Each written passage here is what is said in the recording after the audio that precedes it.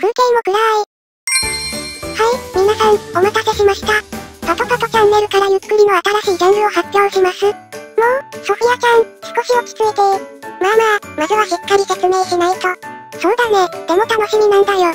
そうだよね、新ジャンルだからね。それじゃあゆっくり話していこう。うん？この度、パトパトチャンネルから新企画を発表します。おお、それはどんなジャンルなの？それはアイドル系ゆっくり、です。ゆっくりのアイドルグループって新鮮だよね。そうだよね。ということで私たちはゆっくりアイドルグループとして活動していきたいと思います。これがパトパトの唯一無二だ。って主は騒いでたよね。大げさだな。ほらほら、他にも発表があるでしょ。まあまあ、ここはじらしていこうよ。そうそう。せっかくだから楽しく話そうよ。でも早く話してあげないと視聴者の皆さん困っちゃうよ。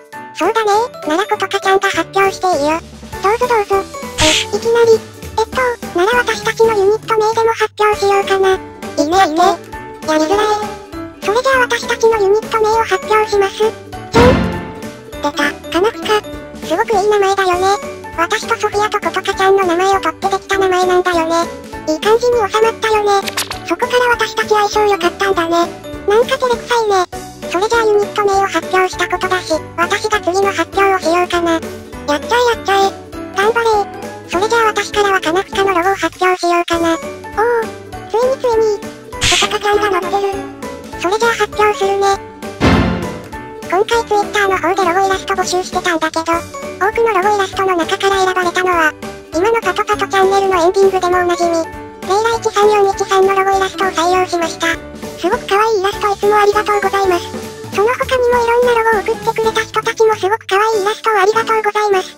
ということで私たちはゆっくり改革名として、アイドルのように歌って踊りたいと思います。頻度は少ないと思うけど、けどこれが私たちが求めた唯一無二なんだよね。うん、だからこそ私たちはアイドルとして頑張っていきたいんですよね。ということで次の動画で私たちのゆっくりダンスをお見せします。都合により、ここの動画で出せないのは本当にごめんなさい。